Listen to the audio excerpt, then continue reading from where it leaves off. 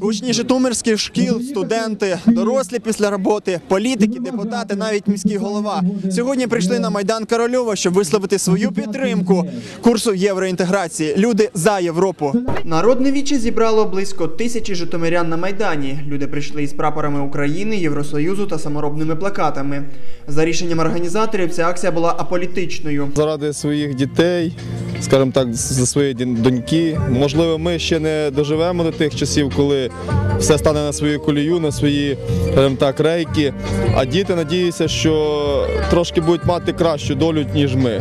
Організатори акції підготували маніфест до президента України з вимогами дослухатись до думки людей. Треба зрозуміти, що цей майдан створений для того, щоб е, показати, що українці прагнуть до Європи і євроінтегруватися. І зрозуміло, що основним меседжем євро цього маніфесту буде меседж того, що президент зобов'язаний підписати асоціацію з Європейським Союзом.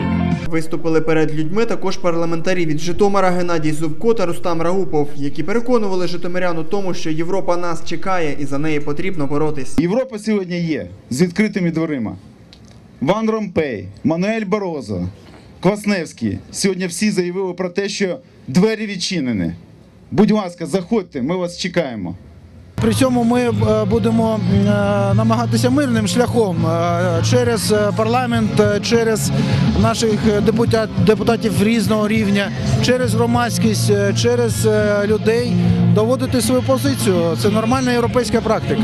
До мітингарів вийшов міський голова Володимир Дебой, який наголосив, що Житомир впевнено крокує до Європи, адже налагоджено співпрацю із ЄБРР та корпорацією Невко. Місто отримає сотні мільйонів гривень кредитів та грантів на модернізацію господарства, але поспішати із підписанням угоди не варто.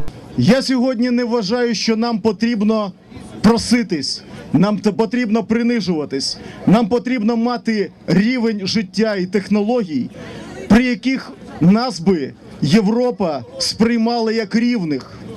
І безумовно, я вважаю, що сьогодні ми і всі, хто зібрався, маємо захистити наших пенсіонерів, наших батьків від зростання тарифів, від зростання комунальних послуг, які пропонує обов'язково МВФ. Мітинг тривав близько двох годин. Люди підтримали резолюцію та розійшлись.